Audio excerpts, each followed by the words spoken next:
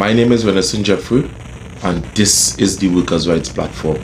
Now, a lot of things have been taking place in and around Trinidad and Tobago, and one might ask the question, why? Now, I ain't going to go into all of them things today, but what I am going to talk about is the conditions of our roadways. This is something that we care. I mean, we have to constantly be reiterating.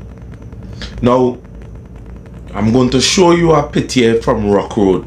Now, some of you would have said, you know, you know, um, the PEP, Philip, that one man show.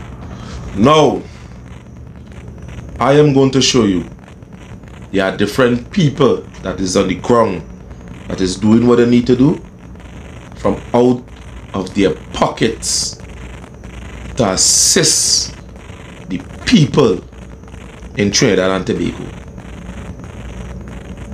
Yeah, to assist the people. Because some of the times, you know, you just have to do things on your own.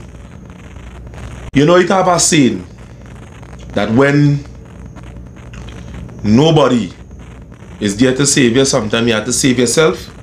But that is what the residents of that area would have done.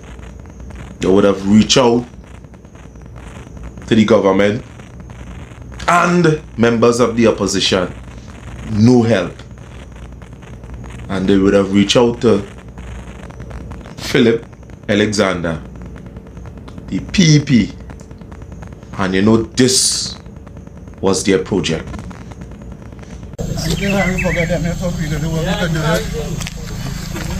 We could do what we could do.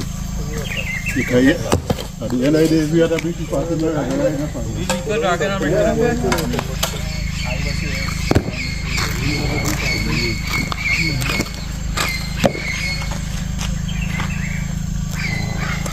Đấy, thế giờ nó phải nào? Redstone.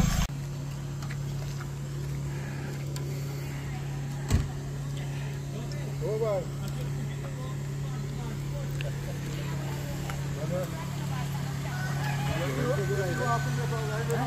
nào?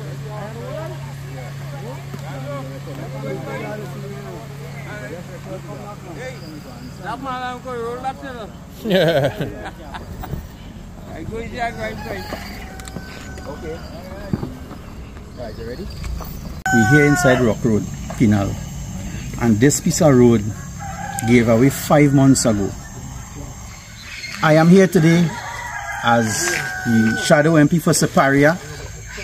We brought some material that was donated to us by some good citizens, some oil sand and some gravel.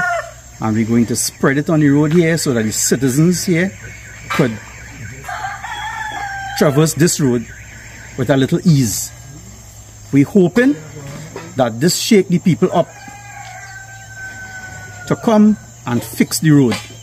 So I want to ask one of the residents to say a few words. Good evening, sir. And your name is? Razak Mohammed. This is Mr. Razak Mohammed. Yeah. And behind us And, is the home of his son. yeah. And the house is moving inch by inch. Every day gone. Inch by inch moving. So could you tell us And the kind of pressures you all facing here as a community because of this landslide? we, we facing real pressure, real pressure. Every day is pressure. Because we, when them when them car passing here, taxis and and um, private car, and they have, they, have, they have people in the car, they have to come out and they have to walk over and then jump again and then and the same thing backward and forward.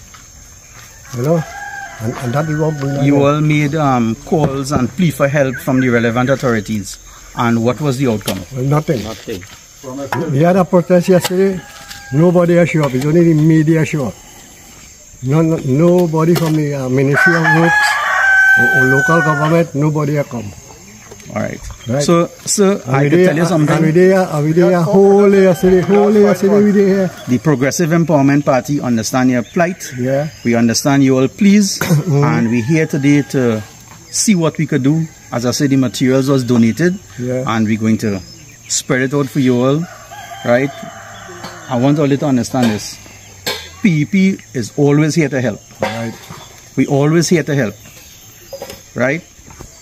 Mr. Philip Alexander Unfortunately, he couldn't be here today, right? But he said that he will be coming, Okay.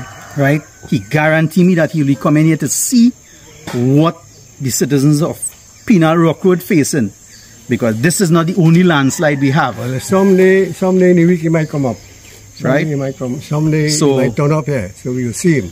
And and we will talk to him. We have nice things in store. We have a 21 policy program. If we should get into government, or when we get into government, I should say, Yeah. that we going to put into place. Mhm. And I can guarantee the citizens of Trinidad and Tobago that they will benefit immensely from the 21 policies as long as we get into government. Yeah. Right? So look, we have another vehicle coming here. Yeah. You'll take, you will see how this vehicle have to pass it.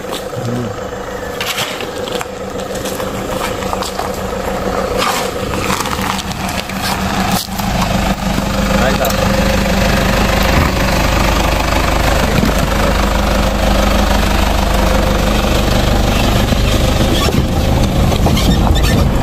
After the saying hello. So, all you tell me is this how our tax dollars working for us?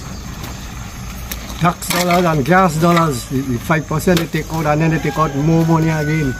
More Is money this what on the gas. citizens have to Nothing. face?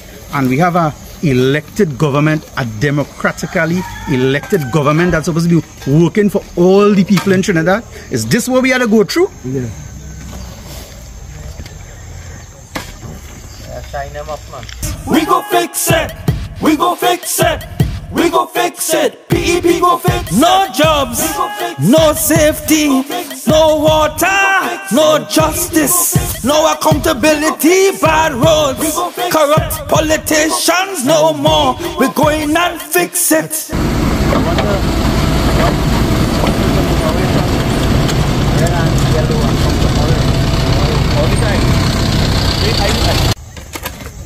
So, we say PEP will fix it. And we did fix it.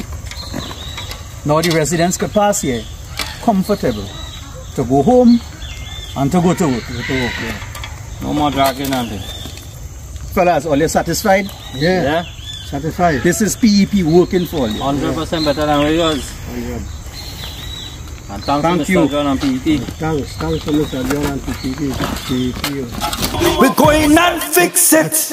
It's time.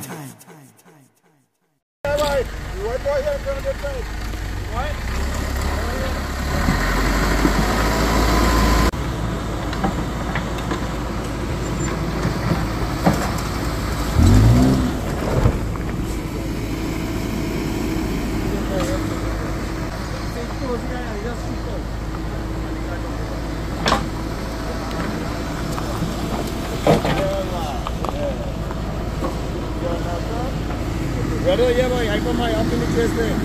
Come and talk to them. Right. Sure. I keep up on the weekend. Yeah. Right here. Wonder there and yellow from the orange. All the time. You, I never see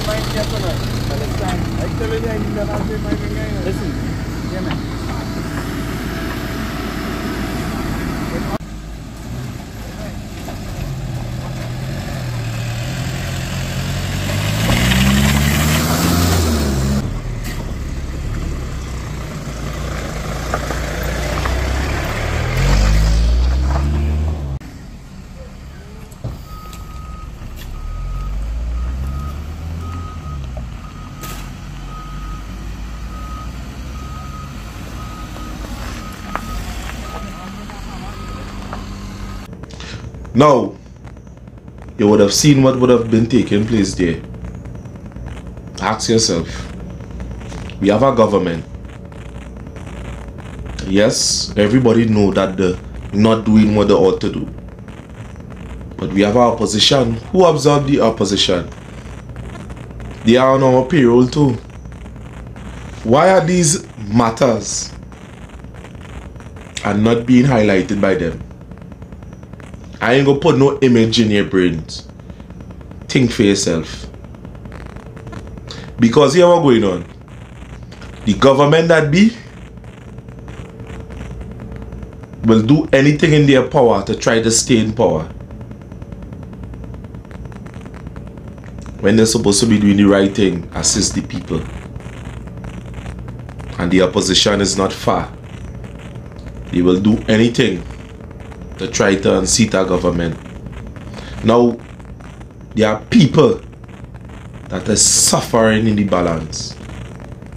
And sometimes we must put these things aside and treat with the people. Not sometimes, you know, but all the time.